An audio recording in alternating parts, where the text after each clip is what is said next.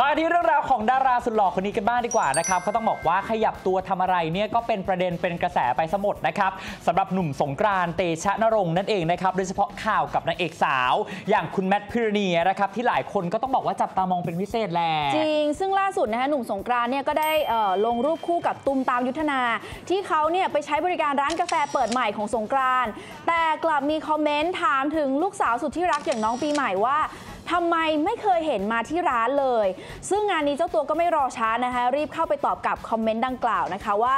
ไปตลอดครับแต่ไม่ได้ถ่ายรูป ซึ่งช่วงนี้ก็มีคนเห็นสาวแมทเนี่ยแวะไปเยี่ยมเยือนหนุ่มสงกรานต์ที่ร้านกาแฟร้านใหม่ที่เขาใหญ่อยู่บ่อยๆ จนคนมองว่าแมทเนี่ยไปช่วยกันดูแลกิจการหรือเปล่าด้วยนะคะอืมซึ่ง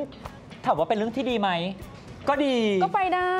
าก็ คบกันเขาก็ไปช่วยดูแลกิจการกันก็ไม่ผิดนะ ใช่แต่ว่างงกับคอมเมนต์ที่ไปคอมเมนต์ใต้รูปที่พี่สงกรารถ่ายรูปคู่กับตูมตามครับ แล้วถามถึงน้องปีใหม่อะไรคือความเกี่ยวโยงนั้น ก็ไม่เป็นไรเราก็อยากรู้แล้วก็ถามตรงๆหรอ อย่างนี้ไงอ๋อโอเคก็นะครับได้